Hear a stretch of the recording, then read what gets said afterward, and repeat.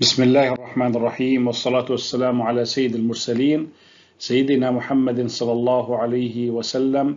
حياكم الله أبنائي طلاب الصف الثاني عشر ومع الجزء الثاني من مكانة الشباب في السيرة النبوية. أهداف الدرس.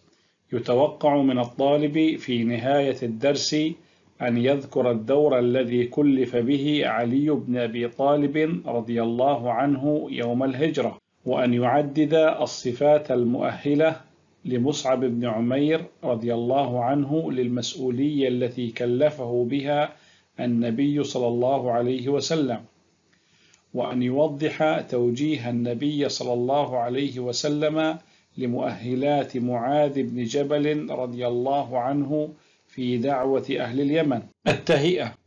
عزيز الطالب علل اعتناء الإسلام بالشباب ورعايتهم والحث على الاهتمام بهم أحسنت لأن الشباب ركيزة المجتمع ودعائمه الأساسية والسبب في نهوضه وتقدمه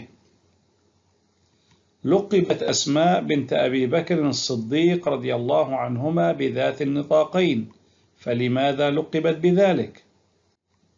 نعم لأنها رضي الله عنها شقت نطاقها نصفين فشدت السفرة بنصفه وتطوقت بالنصف الآخر عند عدم وجود ما تشد به الطعام.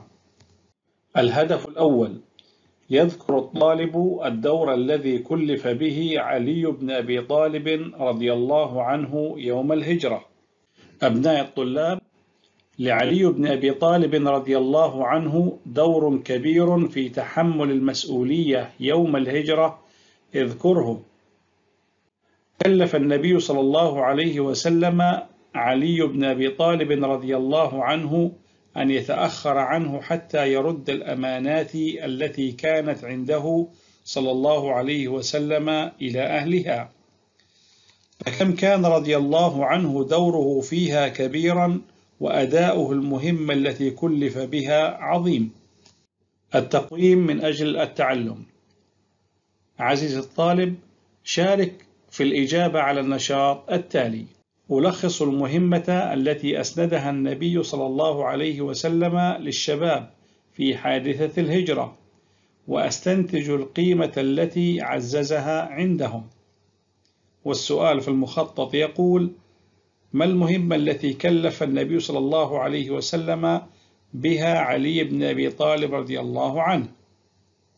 المهمة هي رد الأمانات لأصحابها والقيمة التي عززها النبي صلى الله عليه وسلم عنده هي تحمل المسؤولية.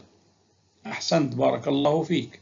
الهدف الثاني يعدد الطالب الصفات المؤهلة لمصعب بن عمير رضي الله عنه للمسؤولية التي كلفه بها النبي صلى الله عليه وسلم.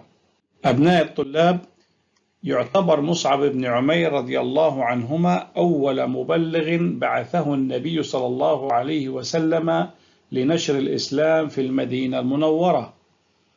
وقد كان رضي الله عنه عندئذ في ريعان شبابه.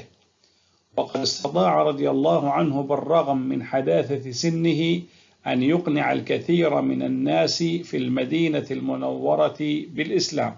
أبناء الطلاب تعالوا بنا لنجيب على السؤال الذي أمامكم.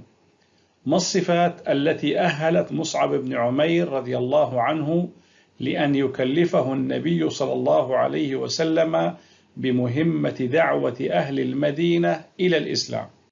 الصفات هي حسن عرضه للدعوة واجتهاده في تبليغ الدعوة لأهل المدينة وأيضا ذكاؤه في التعامل مع المواقف الصعبة. هذه الصفات هي التي أهلت مصعب بن عمير رضي الله عنه لأن يكلفه النبي صلى الله عليه وسلم في دعوة أهل المدينة. التقويم من أجل التعلم.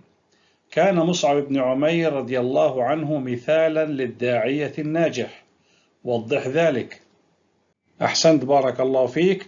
نعم لحسن عرضه للدعوة.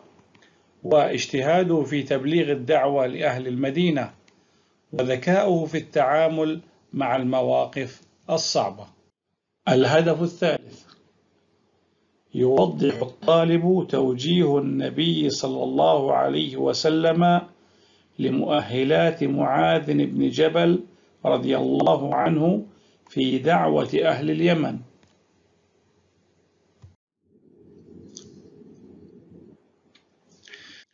أبناء الطلاب تعالوا بنا لنتعرف على الهدف من توجيه النبي صلى الله عليه وسلم مؤهلات معاذ بن جبل رضي الله عنه لأهل اليمن. نعم بعث النبي صلى الله عليه وسلم معاذ بن جبل رضي الله عنه إلى اليمن داعيا لأهل اليمن ومعلما لهم.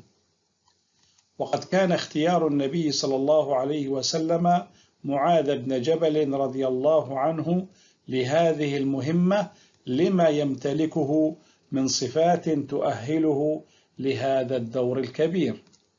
أعزائي الطلاب تعالوا بنا لنتعرف على سبب اختيار النبي صلى الله عليه وسلم معاذ بن جبل رضي الله عنه معلما وداعيا لأهل اليمن.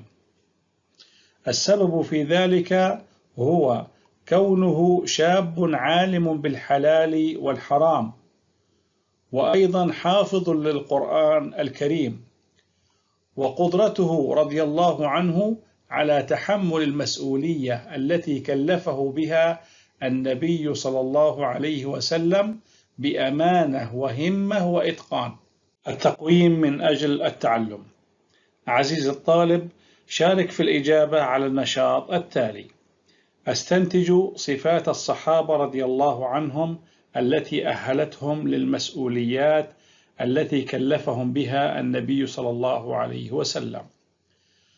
الصحابي معاذ بن جبل رضي الله عنه المسؤولية التي كلف بها معلما وداعيا لأهل اليمن. الصفات التي أهلته لأن يرسله النبي صلى الله عليه وسلم إلى أهل اليمن معلما وداعيا كونه رضي الله عنه عالم بالحلال والحرام وحافظ للقرآن الكريم. وأخيرا مع الغلق الختامي أبناء الطلاب ما المسؤوليات التي قام النبي صلى الله عليه وسلم بإسنادها للشباب؟ أمثال علي بن أبي طالب رضي الله عنه. كلفه النبي صلى الله عليه وسلم برد الأمانات التي كانت عنده إلى أصحابها. ومصعب بن عمير رضي الله عنه بعثه النبي صلى الله عليه وسلم لنشر الإسلام في المدينة المنورة. ومعاذ بن جبل رضي الله عنه أرسله النبي صلى الله عليه وسلم معلما وداعيا لأهل اليمن. أعزائي الطلاب ما الصفات التي أهلت كل من مصعب بن عمير رضي الله عنه ومعاذ بن جبل رضي الله عنه لتحمل المسؤولية؟ الصفات التي أهلت مصعب بن عمير رضي الله عنه لأن يرسله النبي صلى الله عليه وسلم إلى المدينة المنورة لنشر الإسلام حسن عرضه للدعوة واجتهاده في تبليغ الدعوة وذكاؤه في المواقف الصعبة. والصفات التي أهلت معاذ بن جبل رضي الله عنه لأن يرسله النبي صلى الله عليه وسلم إلى أهل اليمن داعيا ومعلما. كونه رضي الله عنه عالم بالحلال والحرام. وحافظ لكتاب الله تعالى وقدرته على تحمل المسؤولية. شكرا أبناء الطلاب لحسن استماعكم ونذكركم بمتابعة الجزء الثالث من الدرس.